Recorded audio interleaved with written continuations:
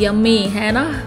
तो इसे हम बना रहे हैं माइक्रोवेव में सिर्फ़ पाँच मिनट में। जी हाँ सिर्फ़ पाँच मिनट में ये सॉफ्ट स्पॉन्जी केक बनकर रेडी हो जाता है और ये इतना यमी और इतना टेस्टी है ना कि बस आप इसे एक बार खाएँगे ना तो खाते रह जाएँगे। तो चलिए फटाफट शुरू करते हैं, देखते हैं कि इस केक को हमने कैसे पाँच मिनट के अंदर वो भी माइक्रोवेव में बनाकर तैयार किया है। तो चलिए शुरू करते हैं।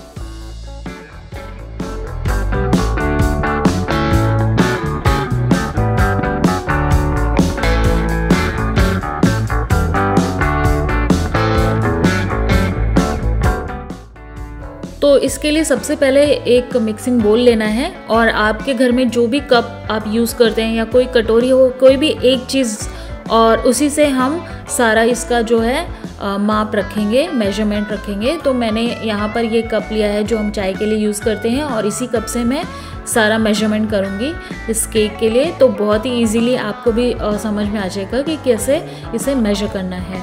तो एक मिक्सिंग बोल में सबसे पहले मैं इस कप से एक कप मैदा ले रही हूँ। तो मैदा को हम इस बोल में डाल देंगे। अब इससे टू थर्ड कप हमें लेना है कोको पाउडर यानी टू थर्ड यानी हाफ़ से थोड़ा सा ज़्यादा हमें कोको पाउडर लेना है, वो भी हम इस मैदे में मिक्स कर देंगे। और इसके बाद मैं इसमें डाल रही हूँ two and half spoon baking powder यानी ढाई चम्मच बेकिंग पाउडर तो कोई भी एक स्पून जो आप घर पे यूज़ करते हैं, वो यूज़ कर सकते हैं, या फिर इस तरह का स्पून हो तो उससे आप टू एंड हाफ़ स्पून जो है बेकिंग पाउडर डालिए, और अगर आप बेकिंग सोडा यूज़ करना चाहते हैं तो टू स्पून बेकिंग पाउडर और हाफ़ स्पून बेकिंग सोडा आप इसमें मिला दीजिए। इसके बाद इस, इसी कप से मैंने इसमें एक कप डाला है चीनी। तो चीनी आप एक कप पूरा यूज़ करिए, तभी थोड़ी मिठास रहेगी, क्योंकि पाउडर शुगर जो है वो ज़्यादा मीठी नहीं होती। तो इसलिए पूरा एक कप चीनी इसमें मिक्स कर दीजिए। और इसे हम ड्राई ही पहले अच्छी तरह मिक्स कर लेंगे। अब इसी कप से हमें लेना है आधा कप दूध और दूध भी हम इसमें डालेंगे। तो एक एक करके हम बाकी जो वेट इंग्रेडिएंट्स है ना, वो अब इसमें मिक्स करेंगे। तो कप जो है हमने सेम रखा है तो आपके पास मेजरिंग कप्स अगर नहीं है तो इस तरह आप कोई भी कप अपने घर में यूज़ कर सकते हैं। और आधा कप मैंने इसमें डाला है तेल। तो कोई भी तेल जिसमें बहुत स्ट्रॉन्ग स्मेल नहीं होना वो यूज़ करिए इसमें। और उसके बाद हम इसमें डालेंगे थ्री फोर्थ कप पानी तो हॉट वाटर जो होता है ना, वो यूज़ करना है। मतलब थोड़ा सा गर्म पानी। इससे केक जो है ना, बहुत फ्लफ़ी बनता है।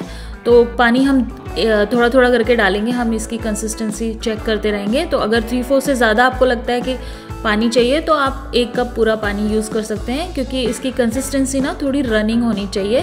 क्योंकि माइक्रोवेव में बहुत ड्राई हो जाएगा। अगर हमने बहुत इसकी जो कंसिस्टेंसी बहुत ज़्यादा थिक रखी तो ये बहुत ज़्यादा ड्राई होगा, इसलिए ये रनिंग बिल्कुल ऐसी कंसिस्टेंसी इसकी होनी चाहिए।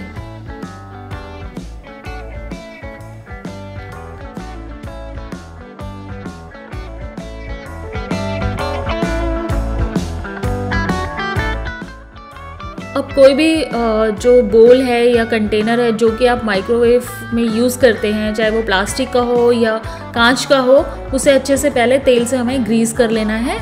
पूरा ऊपर तक अच्छे से ग्रीस कर लेंगे। अब इसमें हम डालेंगे सूखा मैदा और इसे अच्छे से डस्ट कर लेंगे पूरे कॉर्नर्स तक, ताकि ये जो साइड्स जो है ना, इसमें इसमें भी पूरा अच्छी तरह मैदा फैल जाए। और इससे क्या होगा केक जो है ना, वो इसमें जो हमारा बर्तन है, इसमें चिपकेगा नहीं। और जो एक्स्ट्रा मैदा है, उसे हम हटा देंगे। और अब हम इसमें अपना जो मिक्सचर हमें रेडी किया था ना, वो इस बोल में हम पोर कर लेंगे। और उसके बाद जब सारा मिक्सचर हम डाल देंगे ना तो थोड़ा सा जो कंटेनर है उसको डैप कर लेंगे ताकि जो बबल्स वगैरह हैं वो इसमें निकल जाए।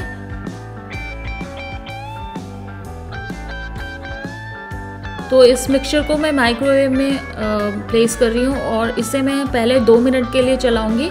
और ऐसे ही थोड़ा थोड़ा करके आप दो मिनट दो मिनट करके इसे चलाइए ताकि आपको पता चले कि आपका केक कितनी जल्दी बनता है। तो डिपेंड करता है माइक्रोवेव के हीट पे कि केक कितने जल्दी बनता है। तो पहले मैंने दो मिनट के लिए इसे रख दिया है।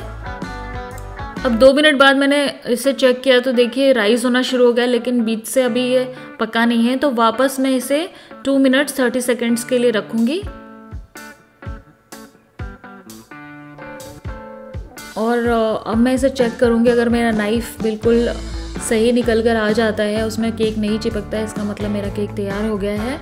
तो ये देखिए, मेरा नाइफ़ बिल्कुल क्लीन निकल कर आ रहा है, यानी केक तैयार हो गया है। और अगर आपका नाइफ़ क्लीन नहीं निकल के आता तो 30 सेकेंड्स आप और इसे माइक्रोवेव में रख सकते हैं। अब मैं इसे फोक से थोड़ा सा होल कर रही हूँ, और इसमें मैं डालूँगी आधा कप दूध और उसमें मैंने एक चम्मच चीनी मिलाई है तो वो इस तरह डालने से क्या होगा कि हमारा जो केक है ना, वो बहुत मॉइस्ट हो जाएगा और उसमें जो अंदर तक बिल्कुल चीनी और दूध का जो मिक्सचर जाएगा ना तो ये खाने में बहुत ही यमी लगेगा। तो इसके बाद मैंने इसे फ्रिज में रख दिया था थोड़ी देर के लिए ताकि ये ठंडा हो जाए, क्योंकि अगर हमने गरम गरम इसे पलटा ना तो ये अच्छे से नहीं निकलेगा। तो जब ये अच्छी तरह पूरा ठंडा हो जाए ना, तभी हमें इसे एक प्लेट में पलट लेना है। तो देखिए कितना साफ़ निकल आया और ये सिर्फ़ मैदा है जो ऊपर लगा हुआ है और इसे वापस हम पलट कर और ऊपर से हम इसे थोड़ा सा न्यूटेला के साथ डेकोरेट करेंगे तो न्यूटेला लगाने से ना इसका जो फ्लेवर है, ये और भी ज़्यादा मज़ेदार लगता है, यानी दोगुना स्वाद बढ़ जाता है इस केक का। तो न्यूटेला ना हो तो कोई भी चॉकलेट हो, जिसे आप मेल्ट करके और इसमें यूज़ कर सकते हैं तो इस तरह अच्छे से हमें इसमें पूरा स्प्रेड कर देना और साइड्स में भी हमें न्यूटेला अच्छे से स्प्रेड कर देना है।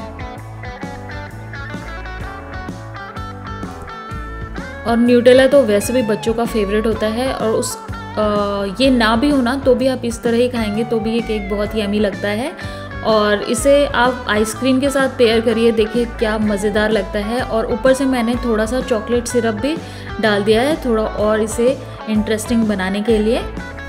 तो देखा आपने, सिर्फ़ पाँच मिनट में इतना स्पॉन्जी, इतना सॉफ्ट फ्लफ़ी केक बनकर रेडी हो गया और पाँच मिनट में बच्चों को ये इतना अच्छा टेस्टी कुछ मिल जाए ना तो वो तो बस खुश हो जाएँगे और आपका भी टाइम बहुत ज़्यादा बच जाएगा।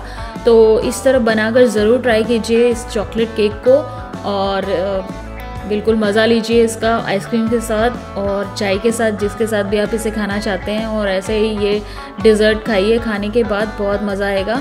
तो ये रेसिपी पसंद आई है तो लाइक ज़रूर कर दीजिएगा।